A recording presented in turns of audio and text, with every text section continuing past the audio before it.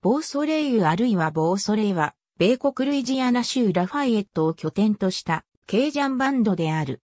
現在のメンバーは、マイケル・ドゥーセ、デビッド・ドゥーセ、ジミー・ブロー、ビリー・ウェア、トミー・アレシ、ミッチェル・リードの6人である。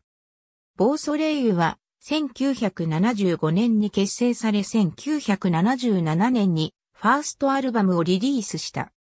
以後、彼らはルイジアナ州のクレオール、ケイジャンの人々固有の音楽を演奏するバンドとしては最も広く知られたバンドの一つとなった。ボーソレイユは全米及び海外ツアーもこなし、そのレパートリーには多くのケイジャン、ザディコの伝統的な曲が含まれている。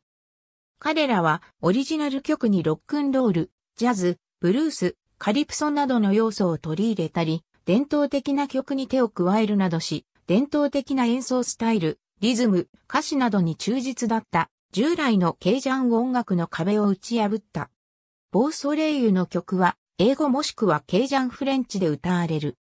ボーソレイユに批判的な評論家には彼らの音楽を水で薄めたケージャン音楽などと評したり余計な要素を加えることにより本来のケージャン音楽を台無しにしているなどと酷評する者もいる。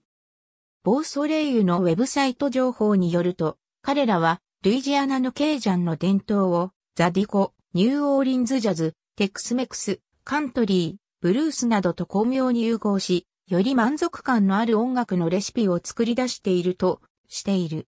バンド名は1755年に始まったイギリスによるアカディア人追放に対する抵抗運動のリーダー、ジョセフ・ブラッサードのあだ名ボソルにちなんで付けられた。